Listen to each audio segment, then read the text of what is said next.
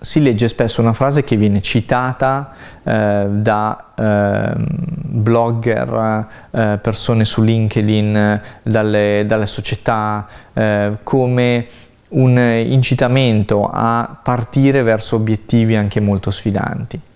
Una frase che non, non mi ha convinto come coach eh, fin dall'inizio, anche se ha comunque ehm, qualcosa di interessante. La frase è quella attribuita a Sun Tzu che dice che eh, anche un viaggio di mille chilometri inizia con un primo passo. Dovrebbe suggerire questa frase um, un incoraggiamento, anche se il viaggio è lungo, anche se il tuo obiettivo, il risultato che vuoi ottenere è lontano, è difficile, è sfidante, immagina che comunque eh, anche questo viaggio inizia con, un piccolo, eh, con una piccola azione.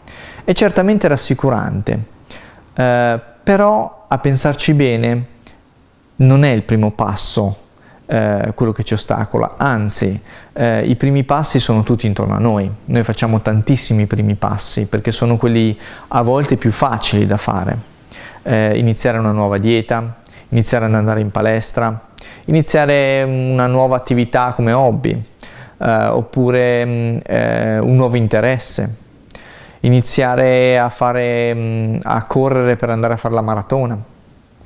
Sono tutte ehm, sono tutti inizi che, noi, ehm, che sono ricorrenti nella nostra vita.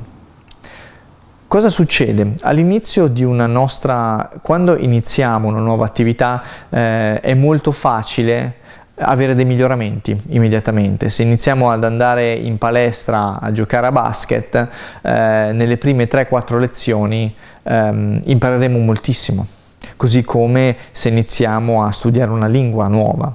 Eh, nelle prime 4, 5, 6 lezioni impareremo tantissimo, impareremo a dire delle frasi, impareremo a pronunciare, a, a coniugare dei verbi, per cui torneremo a casa con grossi miglioramenti. A un certo punto però questi miglioramenti richiederanno sempre più sforzi da parte nostra. Quindi è come se noi all'inizio del viaggio fossimo partiti su una, su una strada piana e poi per arrivare a un obiettivo importante dovessimo scalare una montagna. Se l'obiettivo non è abbastanza motivante, eh, la montagna sarà il nostro ostacolo che ci bloccherà. Ed è quindi eh, dal punto di vista del coaching, della motivazione, eh, dello studio delle, delle performance a livello umano, è più interessante vedere come raggiungere l'ultimo passo, ma non il primo.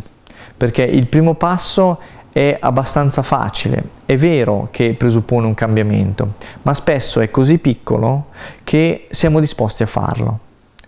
Invece l'ultimo passo presuppone aver scalato una montagna intera, quindi aver cambiato profondamente alcuni comportamenti, aver assunto delle competenze nuove, aver rischiato anche per raggiungere un obiettivo che forse non riusciamo neanche a vedere chiaramente eh, dalla, dal fondo della montagna. E quindi è importante ricordarsi che questa frase è bellissima ed è rassicurante, eh, ma che eh, è eh, l'ultimo passo ad essere veramente importante.